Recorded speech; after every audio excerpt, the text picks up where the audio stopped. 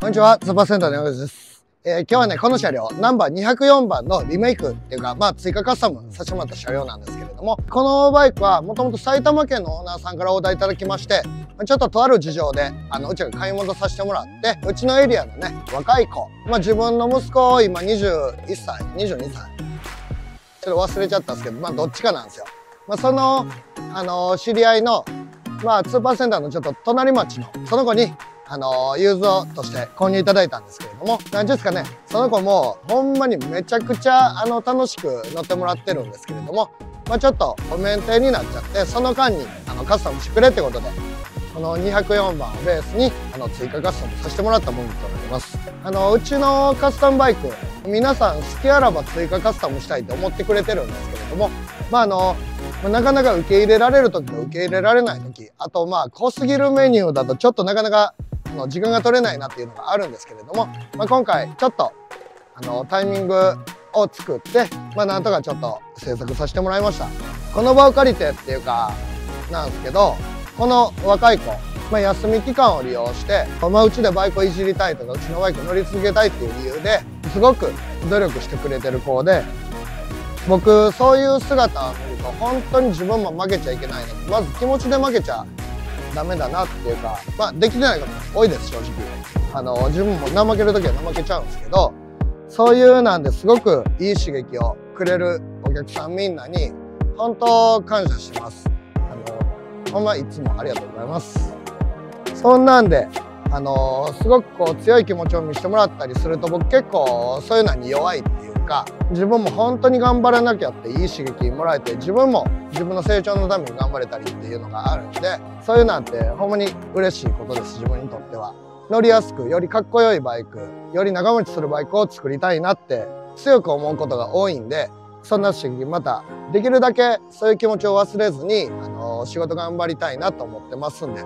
まあ引き続きよろしくお願いします。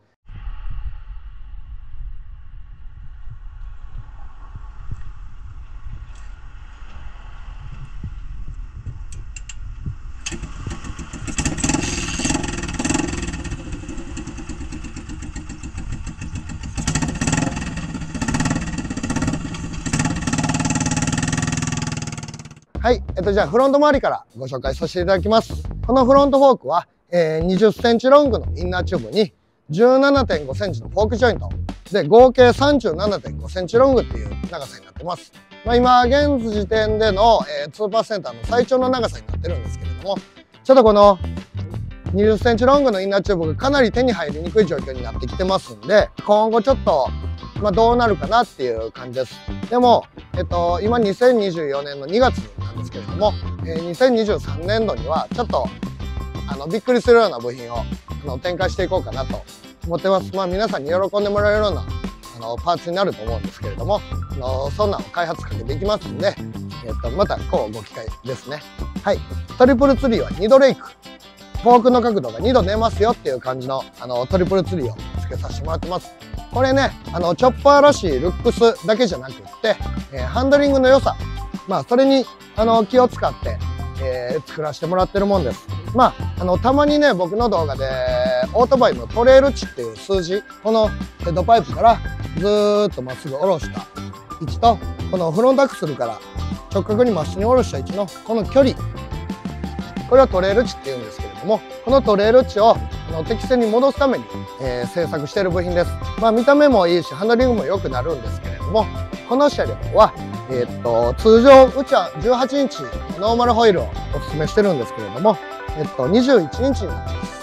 で今回ね、オーナーさんに18インチの方がめちゃくちゃ楽しくなるよってお伝えさせてもらってるんですけれども、やっぱり21インチが好きなんだっていうことで、この21インチのフロントホイールそのまま使わせてもらってます。と、さすがにね、この長さで21インチってなると、えっとね、このフロントアクセルからタイヤのてっぺんまでの距離が長いと。要はテコがかかりやすいんで、フロントフォークがねじれやすいんです。通常の、えーこのチークバーだけでは少しねじれが出るなと思って乗りにくく感じたんで、えー今回はフロントフォークスタビライザーを取り付けさせてもらってます。これね、通常の21インチには取り付けできないんですけれども、まあ、あの、専用の21インチ用、まあ、大径ホイール用のアダプターがあるんで、まあ、それを使わせてもらってこれでまあがっちりあのねじれ防止で、えー、組み付けさせてもらいました、えー、ヘッドライトですね。ヘッドライトは、えー、うちのヴィンテージスタイルデュアルライトキットっていうヘッドライトキットになってます。まあ、チョッパーらしいね、角面2灯の、あのー、ヘッドライトになるんですけれども、そっちから見て分かりますかね。ちょっとだけ角度が違うんですよ。灰色を切り替えで、こっちは下向け、こっちは上向けっていう風な照らし方になってますんで、まあ、あのー、うちでは少しだけね、上下の角度を変えて、あのー、ロービーム、ハイビームを使えるように、えー、そういう設定にさせてもらってます。ただね、これもね、あんまり進めてなかったんですけどね、滋賀県田舎なんで暗いんですよ。でもまあ、どうしても、あのこれがいいっていうことで、引き続きこのヘッドライトを採用させてもらってます。まあ夜中もね、もう朝まであのずっと走る子なんで、ちょっと、まあ、気にはなるかなって思うんですけど、あのー、まあこれがいいってことで、こうさせてもらってます。ハンドルとハンドル周り、あとその周辺ですね。はい。えー、ハンドルバーは204番のままそのまんまで、えっ、ー、と、ライザーレスのマグバーハンドル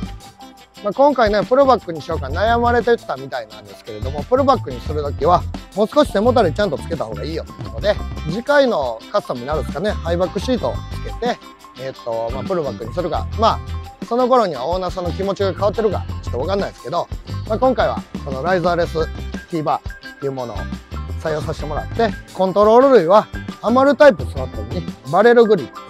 あの、いつものごとくのシンプルな感じになってて、えっと、さらに左手のクラッチレバーがないんですよ。これジョッキシュートの仕様になってるんで、まあ極端にシンプルになってますよっていう感じです。左側のスイッチはウィンカースイッチのカプラオンキットになってます。うん、これはね、あの、こんなヘッドライト使ってるんで、カプラーオンの部分を少し加工したりもしてますけれども、まあ、極端にシンプルなハンドル周りかなっていうふうに思ってます。クラッチレバーホルダーごとないんで、えー、クラッチレバーホルダーに取り付いていたデコンプレバー、はエンジン直付け。イグニッションキーはシートの左下。えー、カスタムイグニッションスイッチウェルドンキットっていうもので、ここにの鍵を取り付けさせてもらってます。ってことで、ハンドルロックがなくなりますんで、えー、ハンドルロックはいつもここ、えー、ハンドルロックウェルドンキットっていうものを、まあ、少し加工して、今回あのトリプルツリーアルミで作ってるもんで、あの溶接ができないんで、まあ、ブラケットちょっと作り直して、これでハンドルロック機能を、あの新設してます。スピードメーターは、えー、いつもの感じのタンクの左前、レフトサイドメーターキットていうもので、えー、取り付けしてます。ここにつけると、乗ってる時もよく見えますし、デザインの邪魔しないんで、まあ、あえてね、メーター、でっかいメーターバコーンってつける、そういうちょっと B 級なカスタムもあるんですけど、まあ、いつもの感じですね。これはシンプルにスッキリ仕上げさせてもらってます。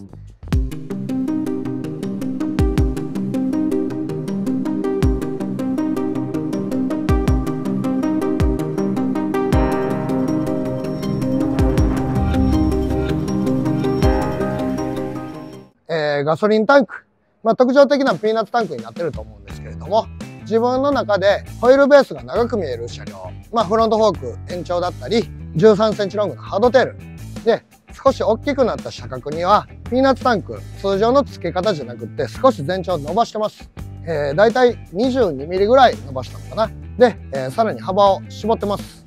うん。それに、まあ、あのー、このベーコンのエイジングペイントですね。ちょっとサイケデリックな感じのエイジングペイントをこのガソリンタンクとリアフェンダーにあの施してもらってます。ウインカーですね。ウインカーは、えー、定番のね、スモールバレットウインカーをボトムマウントウインカーステーで、えー、フロントは取り付けてます？リアはね、ハードテールにあのウェルドタブっていうものを使って溶接取り付けしてるんですけれども、まあ、あのオールドスクール系のチョッパーのあの定番パーツっていう感じですかね。えー、マフラーは、えー、今回エキゾーストパイプからワンオフさせてもらってえー、途中で2つ二股に分かれるもの。でエンドがフィッシュがいいんだっていうことでまあこんな感じで作らせてもらってます。これねあのー、なんか最近スーパーで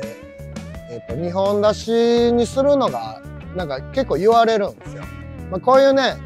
二十歳そこらの若者やったらいいんですけれど僕らみたいにちょっと年食った人間がマフラー2本出しにするのはちょっとなんかあのー、はずちょっとちょっとなんか違うかなっていうのがあるんですけどまああのこういう頃にはあのすごくいいかなと思ってるんで結構この曲げ位置とかあの引き戻しの角度だったり車体への寄せ方だったりあのまあいろいろ考えてバランスよく作れたかなっていうふうに思ってるマフラーです。ステップは、えー、うちのミッドハイステップキット。で、左が、えー、ジョッキーシフトになってるミッドハイジョッキーシフトキットっていうものになってます。このジョッキーシフトキットは左足でクラッチペダルを踏んで左手でシフターを操作するっていう市販のジョッキーシフトん中、まあ、ペダルのストロークだったりシフトのストローク重さ硬さ。入りやすさ、まあ、多分まあ多分っていうかまあうちのがまあベストですね。かなり考えて作ってますんでえっとジョッキーちょっとあの怖いかなっていう人もあのかなり操作しやすいシュートキットになってるんでよかったらぜひ使ってみてください。で、えー、キャブレターですね。キャブレターもあのうちの土定番 FCR キャブレターの39パイをうちの取り付けアダプターで、まあ、エンジンにがっちり固定してます。アルミのファンネルに変えてゴミ除けのネットをインナーに仕込んでるっていう、ま、いつもの仕様になってます。まあ、ほんと楽しいですよこれ。あの皆さんぜひぜひ取り付けしてみてください、えー、ではフレーム周りですね。やっぱりこのステムからリアクするまで一直線のフレーム、まあ、これが一番の車両のポイントになるかなと思うんですけれども、えー、今回はこんだけ13センチロングのハードデルキットを取り付けさせてもらいましてこれあの、まあ、ボルトオンでやってるんですけれどもちょっと見えにくいですけどこの2つを外すとリア周りごそっと抜けます。で、えー、ここからねあのスイングアームを生やしてまたリアショックをここで結ぶと、えー、スイングアームリアショック仕様になりますよっていう。まあそれで車検もそのまま通りますっていう仕様になってます。ただあの、このシート下のフレームはあの一度切断して作り直さなきゃいけないキットになってます。で、えー、まあ水平に入ってるようなフレームを一度切断してこの肉厚の交換であの強度と精度と耐久性あと整備性も含めてがっちり取り付けさせてもらってで通常この辺にうじゃうじゃある電装系なんですけれどもエンジンのクランケースの後ろここですねちょっと見にくいですけどここにカスタム電装プレートっていうものであのまとめてます、まあ、ここはね両手でこうアクセスできたり、まあ、整備もかなりしやすいんですよ。スイングアームに戻した時も一切配線触らなくていいですよと。まあ、後ろについてるね、テールランプとウインカーの配線はつなぎ直しになるんですけれども、まあ、かなり簡単に取り付け、あのー、整備できるっていう、あのー、電素プレートと、あのー、配線のまとめ位置になってます。ただ、の水に濡らして嫌だなっていうこの CDI だけは、このガゼットプレートの裏側に CDI 取り付けしてます。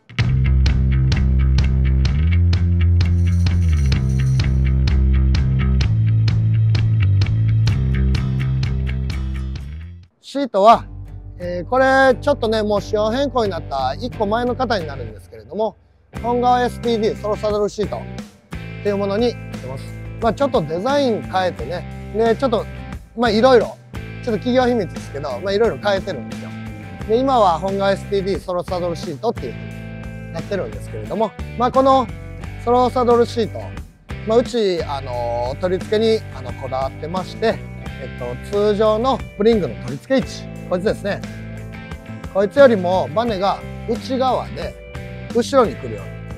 あの、設定してます。これ本革 STD ソロサドルシート専用の2インチスプリングコンフォートマウントキットっていうのがあるんですよ。それでこのスプリングの生え生えてる位置を後ろにするとテコがね弱くなるんですよ。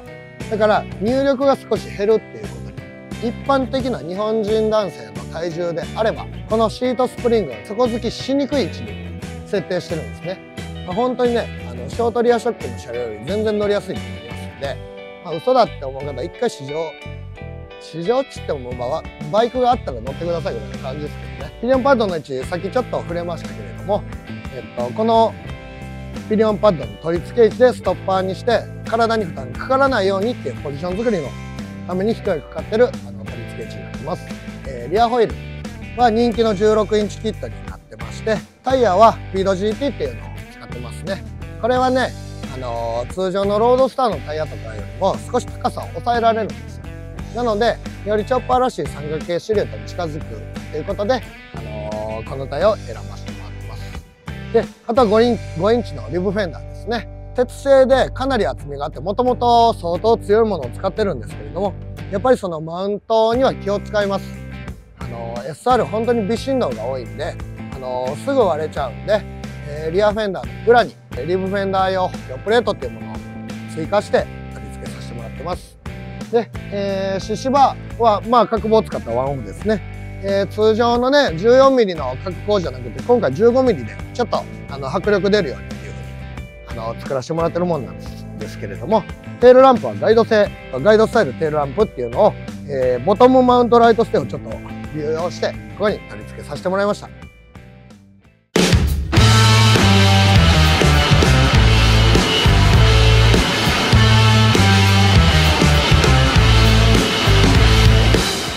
こんな車両ですかね。シルエットもほどほど、あのー、オールドスクールの素晴らしいそういうシルエットになったかなって思ってます。ただね、えー、このフロントフォークの長さでいくら2ドレイクをつけても21インチキットだとハンドルすごく重たくなっちゃうんで通常僕は18インチで作りたいなぐらいの感じの車両になってます。はい。じゃあ今からねあの1分ぐらいこの車両ぐるっと回ってみますんでなんかあんなことしゃべりな喋っとったなこことか思って見てもらえるとより分かってもらいやすくなと思いますんではい。ご覧になってみてください